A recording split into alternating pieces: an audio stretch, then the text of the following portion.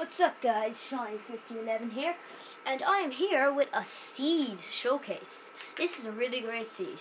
It's called um, Delta Battle Haven Eternity, no spaces, and uh, capital D, capital B, capital E, and capital, wait no, not capital, wait, wait, Delta Battle Haven Eternity, yeah, capital D, capital B, capital H, capital uh, E, uh, no spaces, and yeah, really great seed.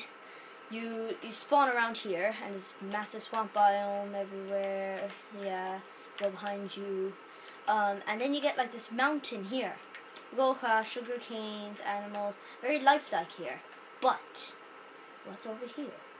A ravine. Yep. Uh, it's really great. Lots of wood. Great for if you, you know, if you just want to start off with loads of resources. And I only just got to see loads of caves everywhere, loads of stone, coal. Uh, yeah, you could do really well in the seed. And then there's like a desert off in here. You know, if you like, if you like sugar canes everywhere and cactuses, go ahead. And you know, I wouldn't be surprised if somebody, ooh, pumpkins. Yeah, I wouldn't be surprised if somebody found a village or something. Because I did. Somewhere. Where is it? I don't know. And then, you know, you get this huge mountainous area.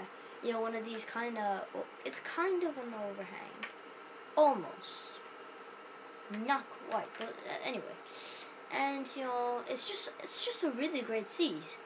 And I recommend you try it out if you like to set off with loads of stuff and everything. You know, just try out the seed. And it's kind of a survival island. I'm not sure. If you just maybe like cut it off here, and then and then if you make a rule to just stay on that island, then yeah, it's kind of be a survival island. But loads of wood, loads of trees, coal, stone, all that. And yeah, this is Shiny5011 signing out.